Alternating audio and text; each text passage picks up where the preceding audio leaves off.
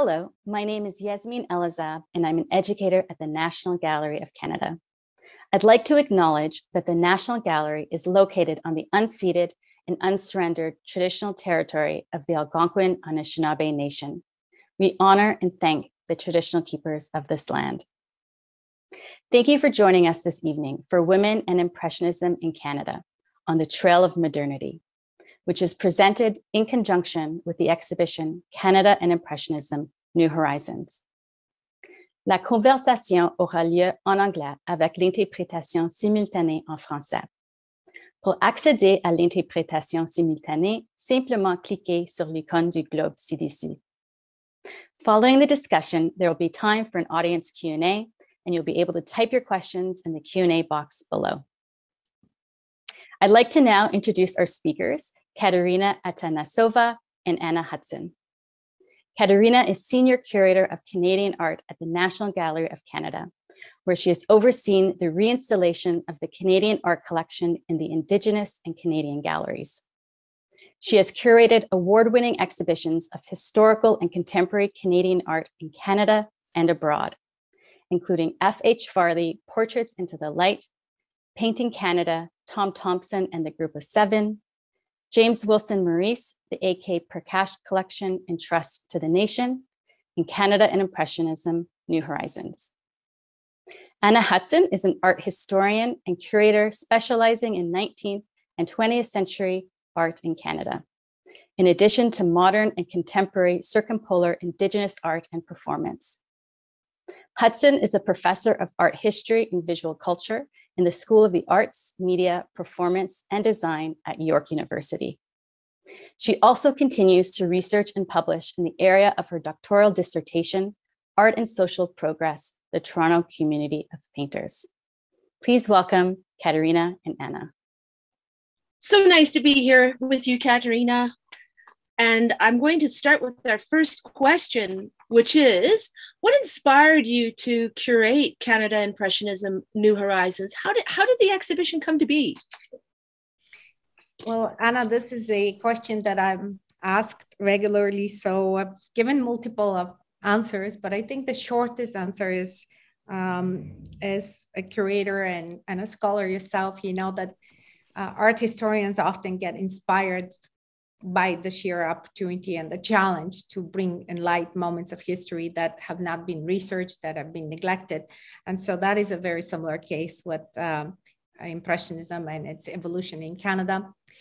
Over the years, uh, the abundance of scholarly interest from all corner, corners of the world on Impressionism uh, led me to see and experience that there's hardly a reference to Canada. And so that was a bit of a disappointment uh, in general, but also in Canada, the bulk of the critical attention has always been given to the period of the 1920s, as we know, and the group of seven.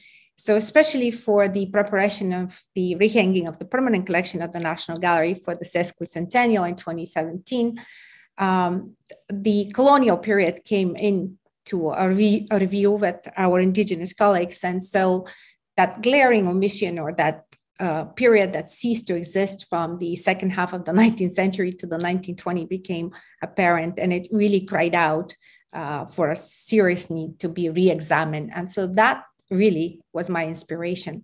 Uh, all in all, various factors that brought that into play. Okay. I want to talk to you also about the tour. Um, the, the, exhibition traveled to three institutions in Europe before finally coming home to Canada. Would you tell us more about the appetite for Canadian art in Germany, Switzerland, and France? As I think th- this interest in Europe, of Europe, might surprise many of us. Absolutely. I couldn't agree more. It was a surprise for me too. Uh, we had uh, three countries in three major cities uh, Munich, Germany, Lausanne, Switzerland, and Montpellier in France who uh, uh, agreed to host and enthusiastically embrace the project. So in many ways, they were just as much as contributors and collaborators in this project. And the exhibition was curated in such a way that it allowed for, um, for the project to evolve and get a different focus in each venue. And of course, each director and curator knew their audiences best, so they knew uh, what would be of interest to their audiences. But what I could say is that in general, uh, having received a critical acclaim and standing ovations in each country, um, there was a common thread. And that common thread was really that sense of yonder and discovery and that um, appeal and, and sort of almost a surprise, moment of surprise as to what impressionism in Canada. Um, and that persisted through and through. Uh, we should be also um, reminded that the exhibition suffered uh, as much through the two years of the pandemic as we did, um, almost as a living being, um, waving, uh, going through the waves. When when we opened in Lausanne in uh, February, in January of 2020, the pandemic was not even started, um, didn't even start in Europe. So what we looked at was um, different responses to audiences, some virtual, others in person that really related to the exhibition. But the most important thing was in Munich. And of course, in Munich, the initial concern was how to gain attendance. Um, the the um, mm. the Kunsthalle really had a, uh, a phenomenal exhibition of the masterpieces of Musée d'Orsay prior to hosting our exhibition. However, attendance was low, and um, so they um, they were really concerned that uh, we would go over 50,000. And as you can see from the images of the lineup uh, to attend the exhibition on the day of the opening, that when the, the lines were winding up for blocks and blocks around the main square in Munich, and you were there, Adam, so you remember these precious moments, these palpable experiences for us as Canadians, um, that proved them wrong. And so the exhibition closed with over 108,000 visitors, which was a tremendous success. Um, Germany and Switzerland uh, have never seen Canadian historical art, and uh, France had seen it last in 1927 at uh, the Jeu de Paume when uh, the National Gallery organized this touring exhibition at the time of 1927 of modern art. Um, so you can see from some of the, the, the photographs that I've made or uh, friends of mine during the opening events, uh, the attendance was high and the interest was really um, incredible and enthusiastic.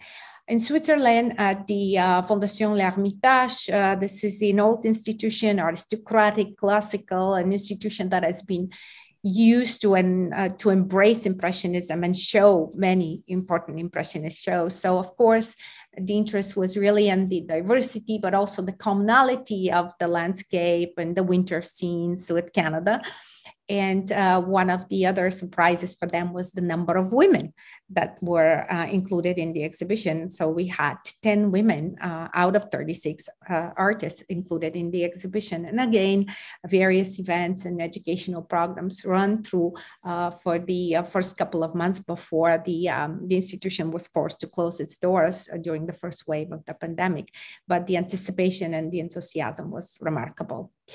And uh, finally, in France, I think um, throughout my now long career in the art, um, I have had many moments to feel proud, but I think I've never had felt such a, um, a tinge of pride and joy for Canada when I saw the eight minute long um, uh, discussion on French national television at the TV5 uh, on uh, what that show meant uh, for French audiences. And I think uh, every Canadian should feel proud of that moment because France is the country, the origin of Impressionism, and to mm-hmm. have four art critics discussing the contributions of Canadian artists and showing this on the morning uh, news program when 60 million people watch was really a tremendous um, success there too. In Ottawa, the exhibition embraces seven different themes, including the representation of women. How, how did you determine the themes? Um, so the the approach of having a, a mixture of chronological and thematic structure came up very early. I wanted to as always, um, be a little more fluid to explore, to allow people to really contemplate the works and, and sort of follow in the footsteps of the artists rather than giving them a rigid framework and dictating them how they should see the works. Uh, so themes came up naturally.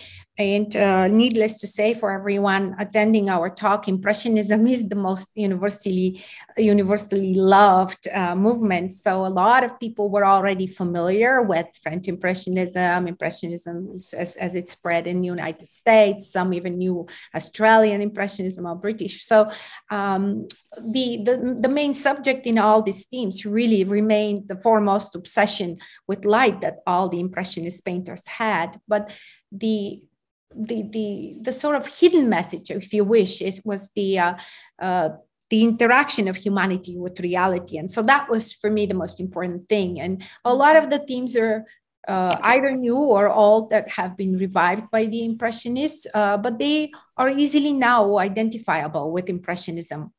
And so what happened was the the the eight teams that tour and seven that now uh, are present in in Ottawa are really um, mirroring a current at the time artistic cultural, social, and political debates that happened. So they were not just an arbitrary subject related themes.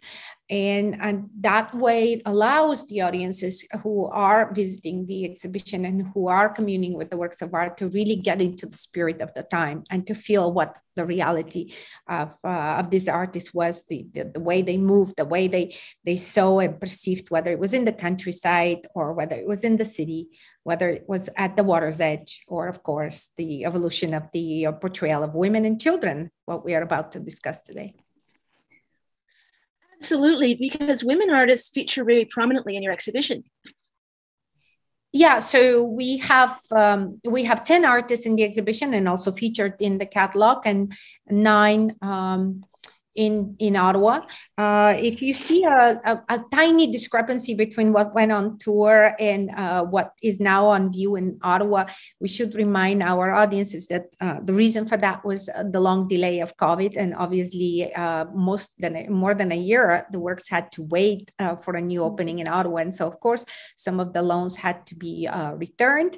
And so, this beautiful image of Frances Jones in the conservatory in 1883 was. Um, uh, scheduled to arrive in Ottawa, but unfortunately it's not. So uh, I hope uh, whoever decides to visit Halifax will be able to see the exhibit, the uh, the painting there in their collection. Uh, however, we're showing it for the reason here to say that as early as 1878, uh, Frances Jones is among the first women to arrive in Paris from that period to study in, in Paris and as early as 1883, only a few years after her arrival, this magnificent work in the conservatory was accepted at the Salon.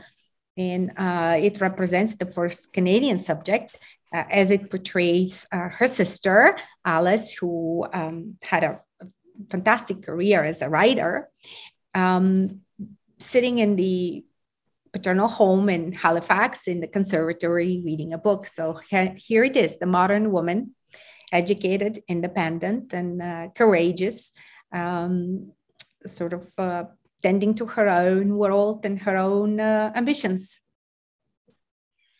That brings us to my next question for you. Uh, when you speak about Paris, what do the paintings of, of the Canadian artists tell us about women's mobility in the late 19th and early 20th centuries? And most notably, their navigation of modernity. Are these images portraying the new woman, and how is that defined?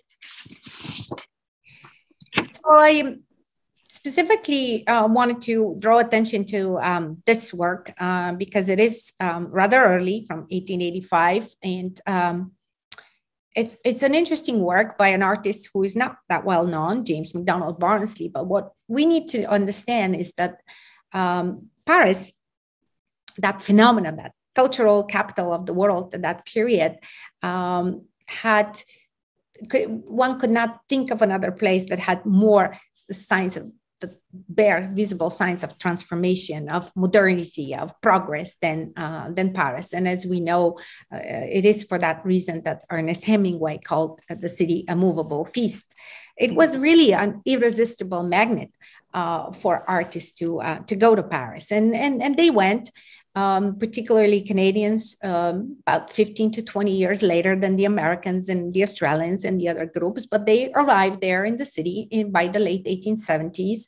And between the late 1870s and 1914, the outbreak of the First World War, we, we have documents that show that more than 200 students were uh, from Canadian origin were in the city uh, um, attending various uh, public and private uh, schools and studying and furthering their education in the arts.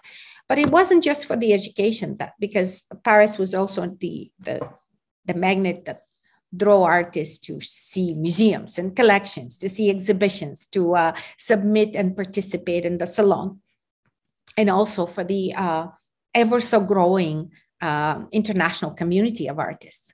Uh, so that openness, that really um, drive to globalism uh, is really marked by that period. And so no wonder that in the work of James Barnsley, what we see here is urban life at its best, or as the uh, French poet Charles Baudelaire, who's credited of giving that sense of modernity a voice, um, called in to say that it requires a special species, the flaneur, the, the wanderer in the city who can observe life. So, so here it is, Barnsley, the flaneur par excellence, as early as 1885. And the two images uh, that are more focused, uh, that are giving a more um, a sort of detail, are really focusing on the number of women um, who either individually or in couple with a male um, chaperone uh, were freely walking on the streets and tending to their daily activities. And so that level of, of detail that Barnsley shows in this work is particularly important for that period.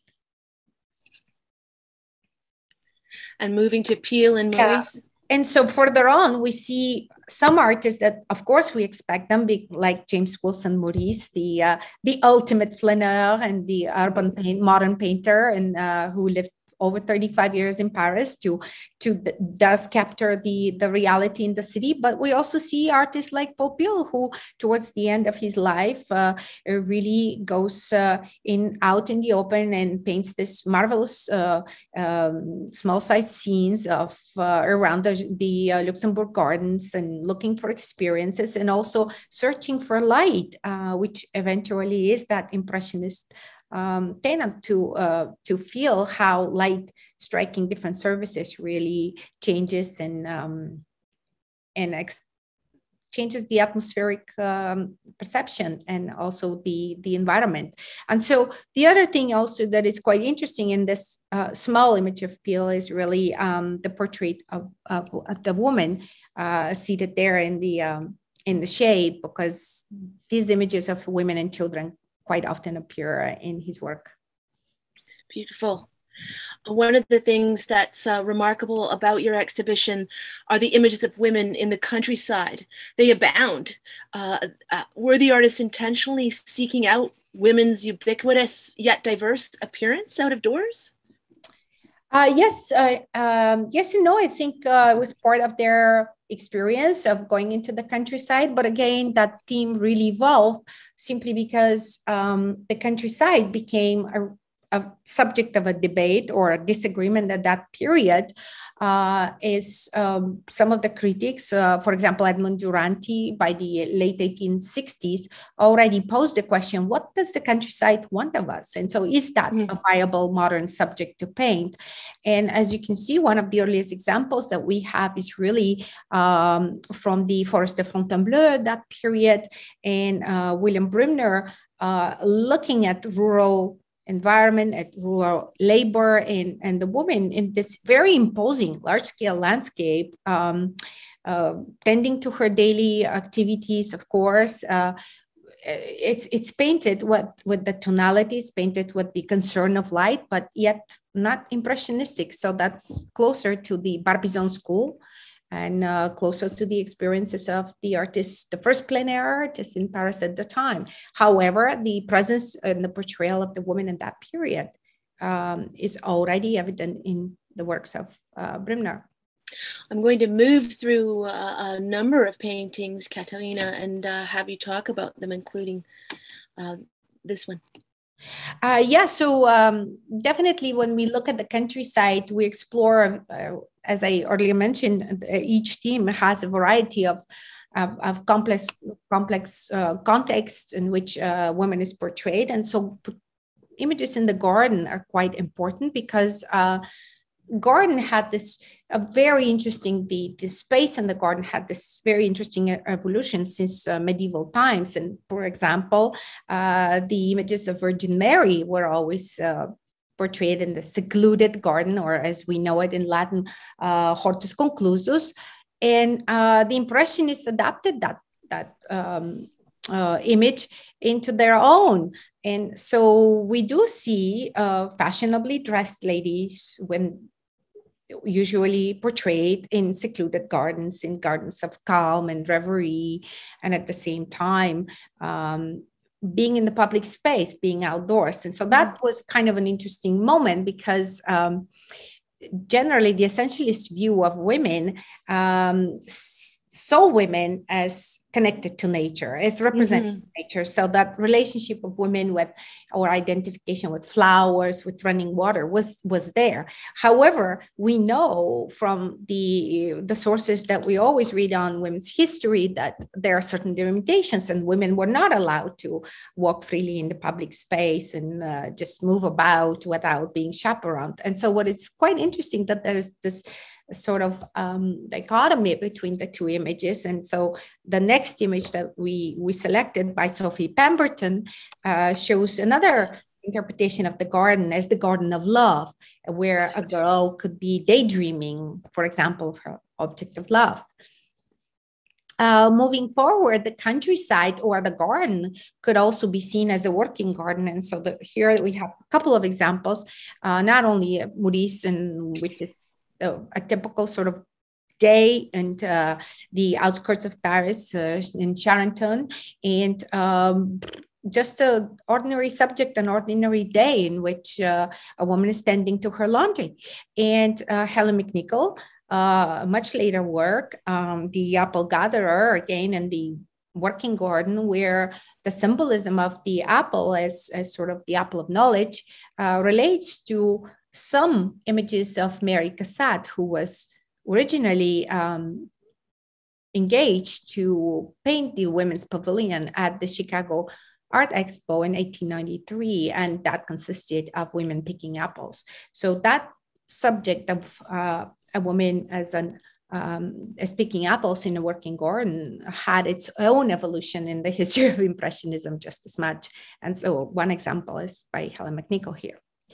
Uh, moving forward to then uh, women in the French countryside, of course, the rural labor uh, was quite uh, um, was getting a prominence in the works of the uh, the Canadian artists who traveled widely in the countryside. And one example um, of um, Maurice Cullen's Brittany Washerwomen from 1901 that really shows the dignity of rural labor, but also the evolution of how Canadians responded to the countryside, to the French countryside in this case, where figures are drawn to the foreground and very well lit. There's a certain emphasis on that, and also a certain evolution in the way or intimacy or, or proximity um, to the beholder, and which uh, we see how comfortable now Canadian artists feel traveling across the countryside and, and painting rural subjects.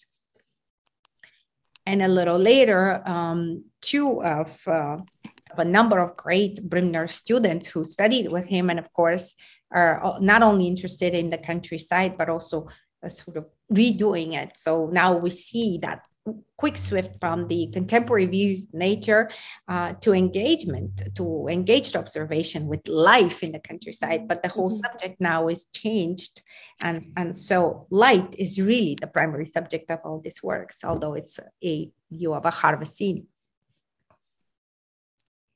market. move you to the so, market. Yeah. yeah. we didn't have time to uh, really dwell in the exhibition, but um, I wanted to include that image in the conversation because quite often the market scenes were places of exchange, a place of gathering, places of social relations, and a lot of the uh, the, the artists, both men and women, in, in the ex- in the exhibition were interested, and they often put their easels and painted in that environment. The French countryside, of course, and as the seaside that we shall see in a moment, um, was also a site of leisure. And that was a very interesting moment because uh, in May, usually every year, the moment the salon closed and the weather became warmer in, in the city, um, students and teachers and artists alike um, were packing their art supplies and were running to the countryside. And so often the places of leisure were in the environments in Paris and special resort locations or going up north to Normandy and Brittany. And um, sites of leisure became very important. And of course, that was the way to see women in public, women dressed well, women in the middle class that really moved about freely or in a company of um, a chaperone, a male or a female companion. And so, a couple of the detail images here from um, Morrice's uh, bullfight in Marseille are showing that detail uh, that uh, often he um, he doesn't focus on, on much of detail of fashion and work. Mm-hmm. It's usually a much swifter in um, marking mostly the uh, uh, the people in the audience. But here he had chosen to really uh, pay attention and uh, really introduce us to individuals who were present in that uh, leisure activity. And we're back to Helen McNicoll and, and Ribot. Sorry, you were going to ask something. I was just remarking on the hats, the beautiful hats. Yeah. so here we see a, a kind of a variation uh, on the same theme, but also a very easily recognizable impressionist uh, subjects, if you wish, or uh, or symbols that are associated with impressionism, the parasol and that the white dress and that free movement in the countryside, um, but also the picnic. Uh, another quite an interesting subject that we have seen in, in a variation by Manet, the Déjeuner célèbre. And uh, by no means uh, the illusion is there because um, Canadian artists uh, never had, uh, were never agents of social change. So we never see the social commentary that we would expect to see in the French Impressionists. And um, here in Bow, we just uh, simply a variation, a very different variation of the scene painted in Canada of uh, just a family enjoying um, a nice lunch in the summer that brings us to the, to the seaside. And do these images uh, reveal a new middle class, modern concept of the summer holiday? So that is a very interesting question because the concept of the holiday didn't even exist. So it was really introduced at, the, at that period. So, uh, and being by the water uh, edge was another, uh, a sort of an interesting moment because that was um, redefined or updated and by the impressionists from the classical symbol of water. So uh, being at the site of purification suddenly became at the site of leisure. And uh, what the Impressionists contributed was to create this carefree world and that idea of, of, of modern holiday. And uh, it, it is not necessarily the idea of holiday that we understand today, but what we know is that the artists were really the first one to discover the coast or the writers, um, either mm-hmm. or. And so whenever an artist would go and publish something on a particular location, the artist would follow and vice versa. And so what, what we see here is that um, the the original artists, and I'm talking like, um, for example, Boudin, um, mm. uh, and with with the famous sort of beach scenes and the, the, the exploration of the uh, northwest coast of France um, uh, that showed up from the 1860s that inspired even Monet to do uh, a similar um, compositions. They talked about the transformation, the sense of discovery, but also the sense of change and transformation of the coast. And there we see fashionable crowds, then we see mobility, then we see accessibility, then we see uh, women and children on the beach and, and all experiences. Then we see the, the activities of leisure, such as the uh, regatta or the sailboat. And, and so all that came into being. And so when the Canadians arrived, so Morrice, for example, was there by 1891. We know one early watercolor that exists. Um, uh, painted by him, uh, the coast was already discovered. And the beaches, as to quote one of the, the sources at the time, were looking more like the fashionable summer boulevards of Paris. And so you can see this crowded uh, locations. But what Morrice does is he kind of, in his usual approach, empties this crowded spaces and focuses on few figures so that he can really uh, um, have uh, an individual references to it, and then uh, creates that fresh, solitary vision, if you wish, on the in the space.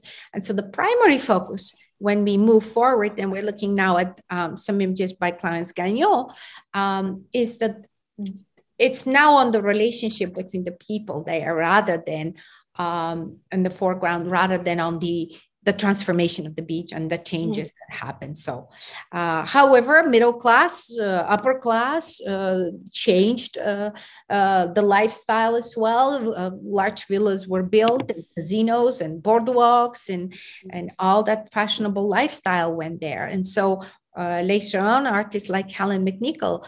Um, encounter exactly that experience and that's what projects from uh, from her paintings as well as Gagnon.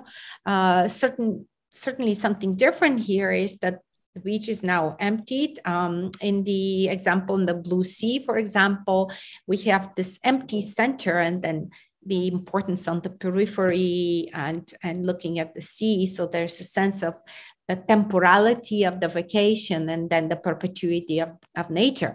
Mm. Uh, and in the tent, it's another sort of a very interesting um, evolution uh, of the topic, something that that she explores, and we will see momentarily in her interior scene of being indoors while being outdoors. So we are in a tent, but we know we are outdoors, so we feel that freshness of the air, we feel that um, closeness to the beach and the sun uh, permeating through the canvas of the tent. However, it is a quite intimate indoor scene.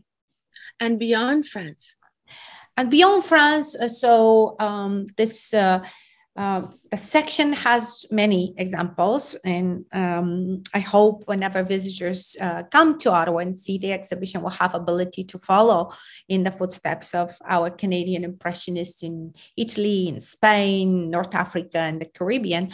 Uh, we just have two examples here. One that reminds the essential experience of Morrice, the modernist painter in Venice, uh, Venice was such an important location for him. Uh, we know at least of six trips that he had made to Venice. Um, and uh, we also should say, because the National Gallery is very uh, involved with the Venice Biennale that uh, is organized every few years in the Canadian Pavilion, that Morrice was the first officially identifying himself as a Canadian artist that participated in the Venice Biennale in 1903. Um, and the other example from beyond France is from the um, uh, by Franklin Brownell from the Caribbean um, at Nevis. Um, the the interesting um, experience of Brownell, who went on several occasions for prolonged stays uh, on the islands, um, was quite remarkable because he never really intended to see the inhabitants as an exotic attraction. And so that projects in a number of great canvases that he had left. So far, we know over 40 examples of um, several of his visits to the island. And this very dignified, statuesque almost portrayal of the uh, women who are going about with their daily routine, either waiting for the boats uh, to arrive and bring the catch of the day or selling or buying produce. And so they appear close um, to the painter. They he's familiar with the environment he's not a tourist uh, he lives there for a number of months and so that really projects of that simple but very powerful narrative that he mm. uses here. Oh, excuse me. Sorry. Okay. I apologize for that. I wanted to ask you or move us to the domestic interiors and, and what prompted these? So the domestic interior was uh, something that we wanted to, but we couldn't really um, explore in depth uh, in the exhibition for the sake of size. Um, and I'm glad we're bringing those two slides because um, they talk about um, the presence of style, the presence of taste and what was a la, a la mode at the time, but they're also quite interesting because they're quite different. So Helen McNicoll, again, if we re- remember her work um, in the tent, it's almost inter this work mm-hmm. of the mm-hmm. interior scene is almost interchangeable with the yes. you know the tent because it is her studio, it's her living space, but it's almost open to the outside world. There's so much light, there's uh, uh, so much freshness. One almost feels the breeze from the curtains, and there's movement, there's freedom, there's light.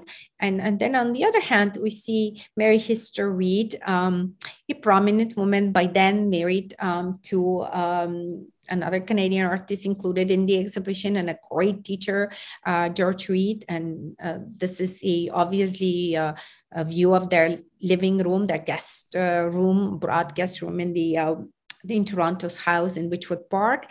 And so that is the traditional Victorian point of view. The room feels very organized, very mm-hmm. safe. There's a sense of security and order. And so if we think of this two completely different worlds, um, we come to understand that um, taste and fashion had a role to play. And so interiors speak a lot to what the artists obviously felt at the time. And uh, moving on that, uh, we see the fashion, yeah.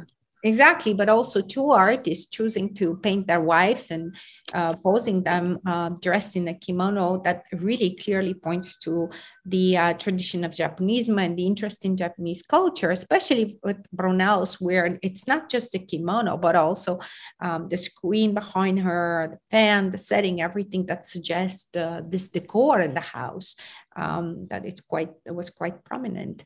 In fact, um, this is uh, for Gagnon. This is uh, his uh, first wife, Catherine. And what is quite interesting is that um, there is an archival photograph from their apartment in Paris that shows a very similar interior where there were Japanese screens, there were fans, and there were other objects that were collected. So there, that was their living experience as well. And images of professional women women artists are they statements of purpose? Are they are they declarations of of, of uh, professionalism? So one one wants to believe that that's the case and i believe with florence carlyle here it's quite interesting because she picks um, she portrays her model launching a very uh, traditional uh, scene of a woman lunging and resting. Uh, however in her hand, she holds a copy of the uh, most fashionable, most popular, and and most uh, advantageous at the moment um, magazine called Studio Magazine, which uh, shared a lot of uh, interesting uh, discourses on art and poetry, literature, social studies, and so on.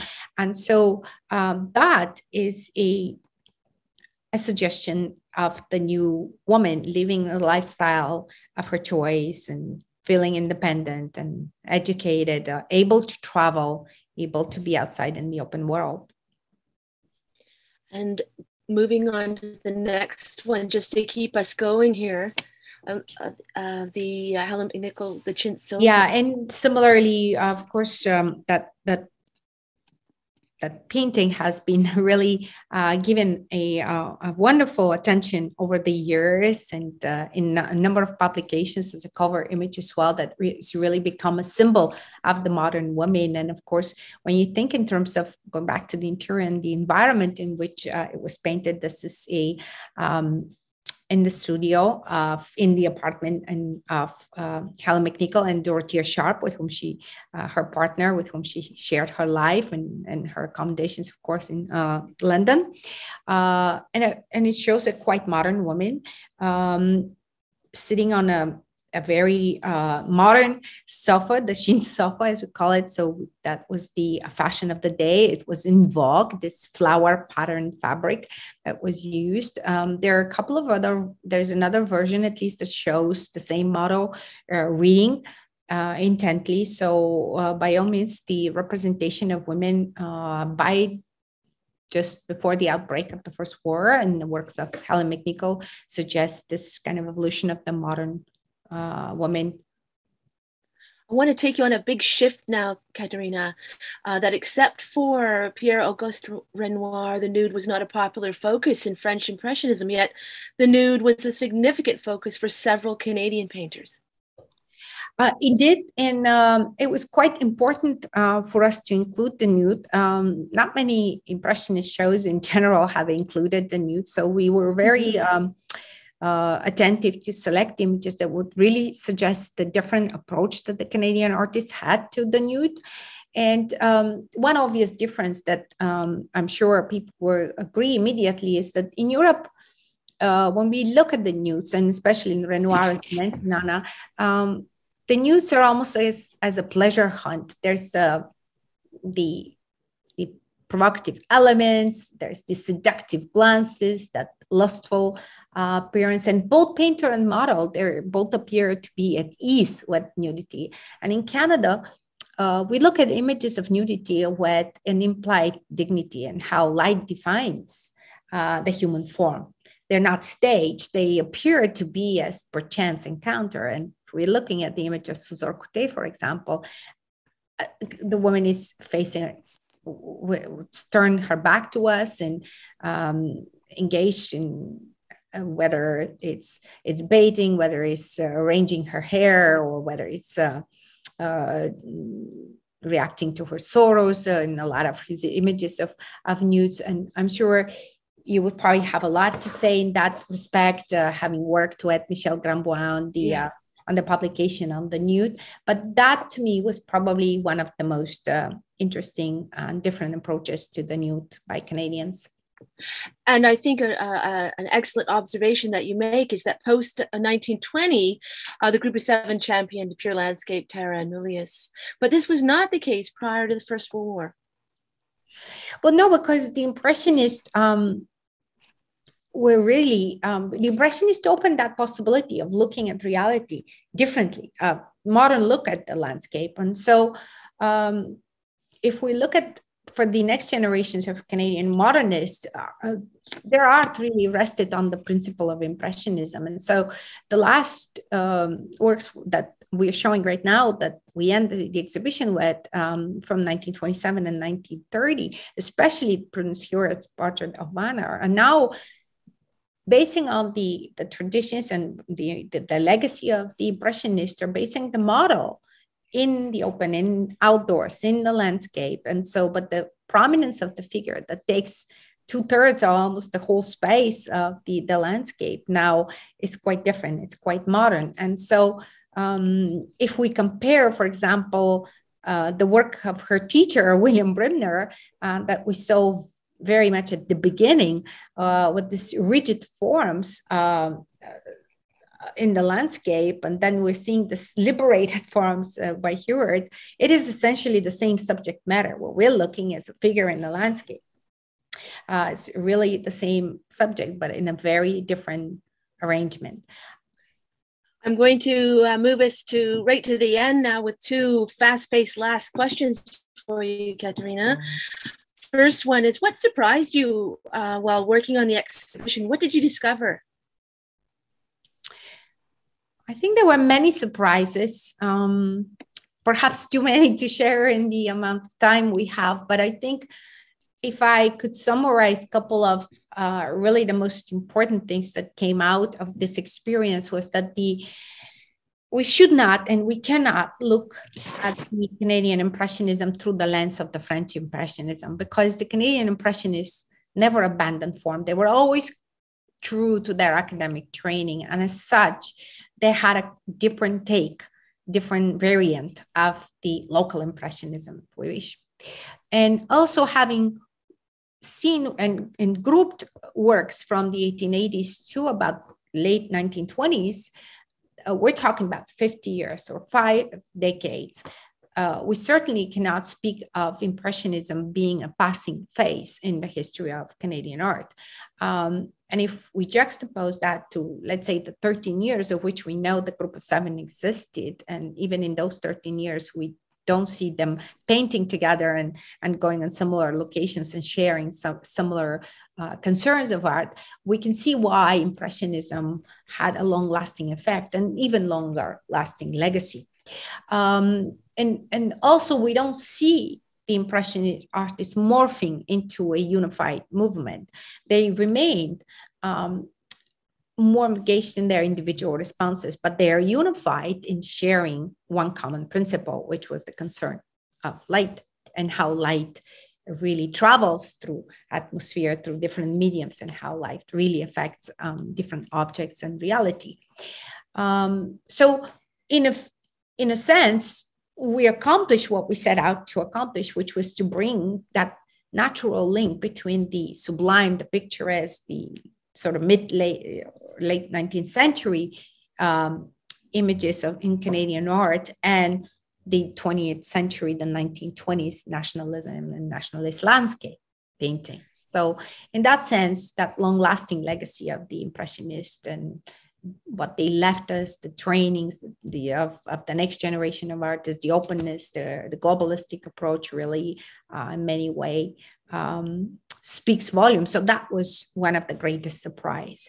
And um, if I may um, end up with something that um, became almost a, a mantra for us. Uh, it, it, it, was written by Adam Gopnik, who did the foreword um, to the catalog. And so he rightfully so said that the, the transmission of modern, modernism at the time was a sign, or even the participation in the global impressionism was a sign of a growing cosmopolitanism and mm-hmm. then subsequently brought um, the confident nationalism. So we ought to see that evolution in the works of the Canadian Impressionists.